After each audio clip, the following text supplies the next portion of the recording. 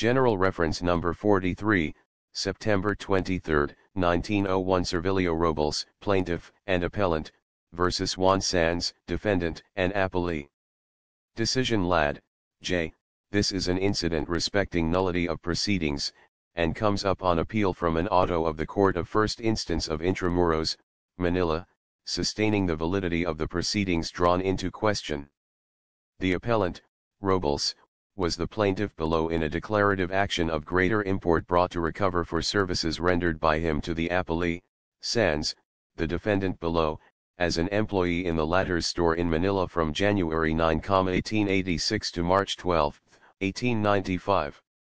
One question at issue between the parties was as to whether any payments had ever been made the plaintiff by the defendant on account of said services, the plaintiff alleging in his demand that no such payments had been made and the defendant in his answer alleging the contrary, and specifying the dates and amounts of certain payments, which he stated appeared upon his books of account.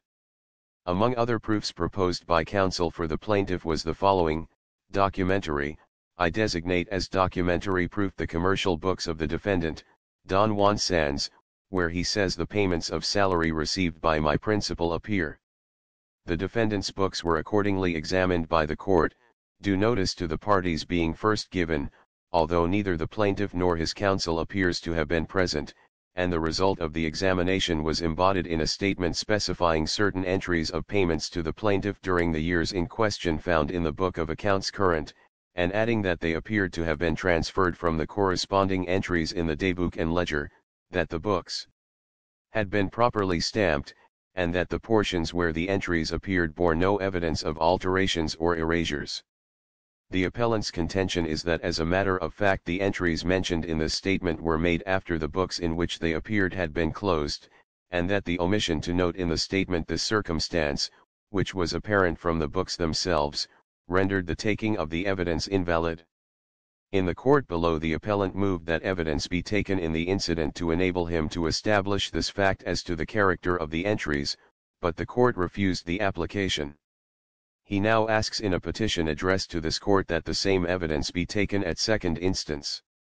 If the omission to state that the entries appeared to have been made after the books had been closed, such being the fact, would constitute a fatal objection to the legality of the proceedings in the taking of the evidence, the appellant should have been permitted to show the fact in the court below, and not having been permitted to do so there, his petition that the evidence be taken at second instance might properly be granted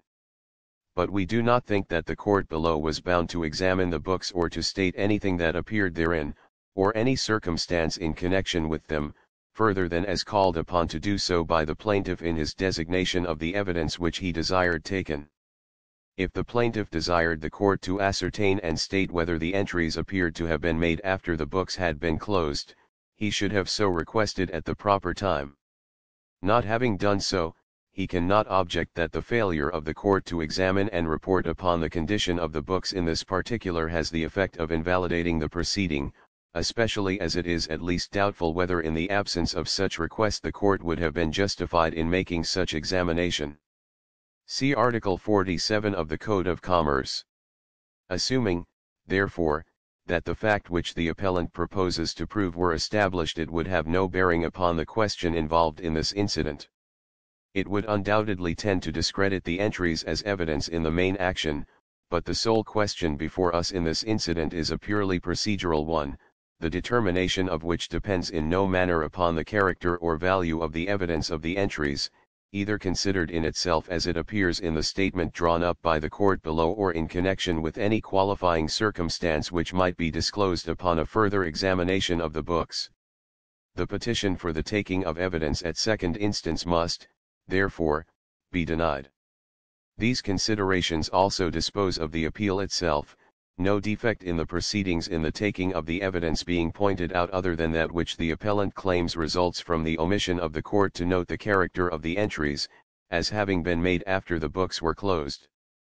As already indicated, we are of opinion that this omission does not invalidate the proceeding.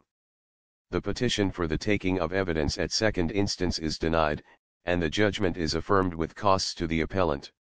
Arellano, C.J. Torres, Cooper, Willard, and Mapa, J.J., concur.